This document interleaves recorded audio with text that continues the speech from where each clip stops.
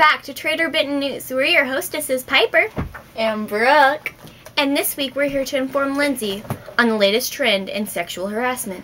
That is, drum roll please. Do-do-do-do-do-do-do-do-do. Pocket touching! Ah! Oh no, she touched my pocket! This, this can happen to you, you slut. Thou gleekly, motley minded minnow! That's right, she just went Shakespeare on you. That's right, I did, I did. But thank you for tuning in to Traitor Benton News. Please tune in next week for our next installment. You should!